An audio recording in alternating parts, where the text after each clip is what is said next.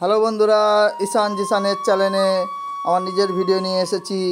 এইটা হচ্ছে হাওড়া হাওড়া ব্রিজে ব্রিজ থেকে নেবে এই যে সাইডে যেগুলো সব ফুল বিক্রি করছে সব চাষিরা।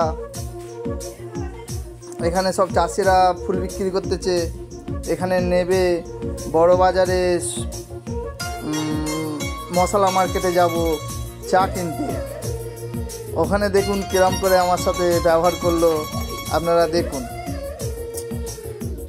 এটা হচ্ছে হাওড়া ব্রিজ পার করে এখানে নামছি, আর এখানে সব ফুল বিক্রি করতেছে সব রকম জিনিস বিক্রি করতেছে যেমন আগের ভিডিওতে বলেছি, যে কোনো জিনিস কেনাকাটা করবে, খুবই সাবধানে করবে।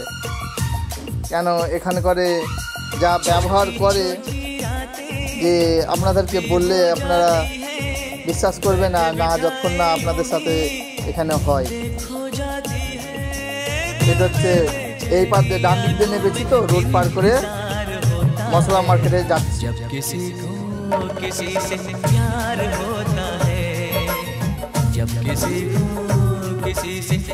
এটা হচ্ছে হাওড়া ব্রিজের এই কোনটা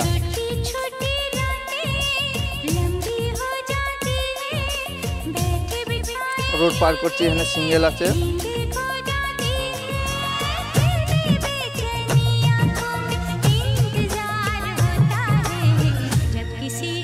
সামনে রোড পার করে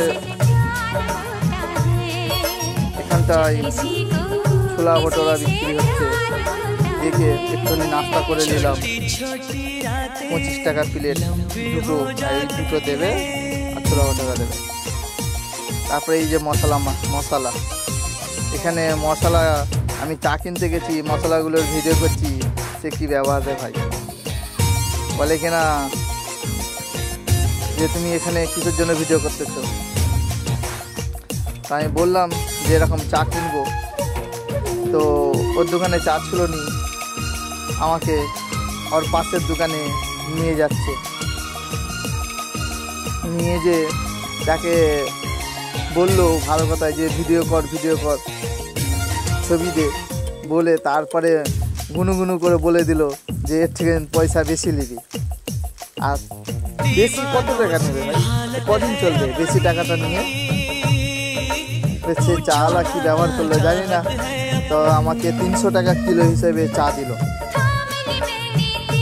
তো এই যদি পঞ্চাশ, একশো টাকা বেশি সে নিয়ে ফেলে তো তার কদিন সংসার চলবে? মানুষের সঙ্গে ব্যবহার ভালো করে এরা জানে করতে জানে না। শুধু মানুষকে একটা জিনিসই ভাবে যে কিরম করে লুটতে হয়। এই হাওড়া কলকাতায় এইগুলোই সব জানে।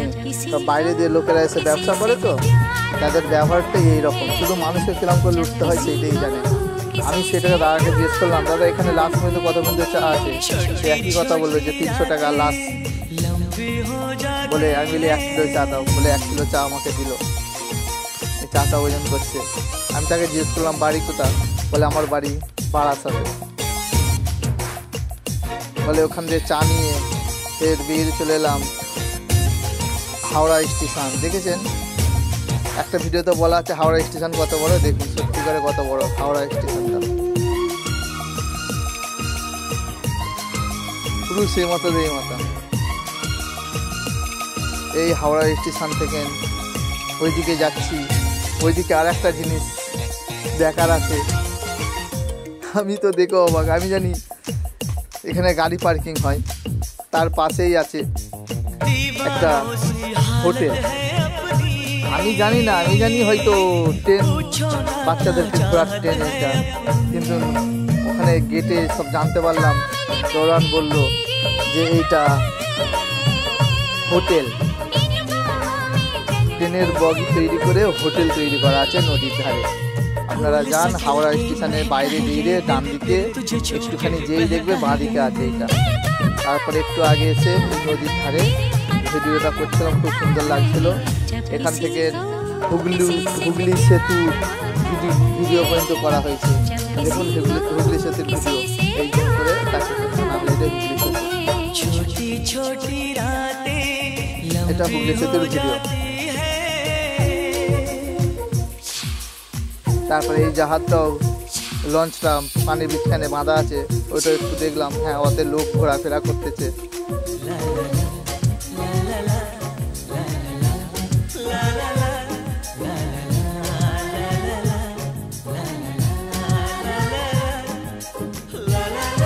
এই বোটটা ওপরে যাচ্ছে ওখানটা হচ্ছে গার্ডেন আছে গার্ডেন ঘুরতে যাচ্ছে।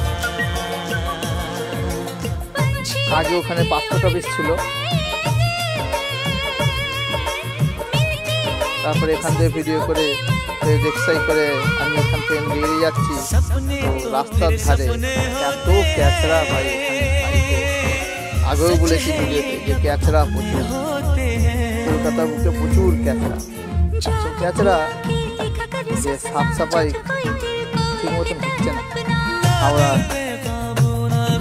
হাওড়ায় প্রচুর ক্যাচরা प्यार होता है দেখুন আপনি নিজেই দেখতে পাবেন এই সাইডে ভিডিও করা আছে प्यार দেখুন কত होता ক্যাচরা है जब किसी को किसी से प्यार होता একটু है খতরনাক গন্ধ छोटी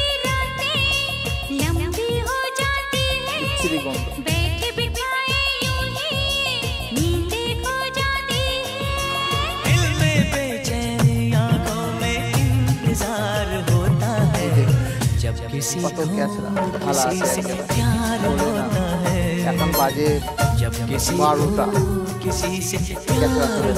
তার উপরে গরু শুয়ে আছে গরু আছে পরিষ্কার পরিচ্ছন্ন একটু যারা বারোটা মানে বুঝতে পারছেন তো ক্যাচরা তোলা হয় এবং ক্যাচরা চারি সাইড এই পর্যন্ত ভিডিওটা শেষ হইল আপনারা ভিডিওটা শেয়ার লাইক করবেন আর আপনার বন্ধুদেরকে দেখার মাথা করে দেবেন।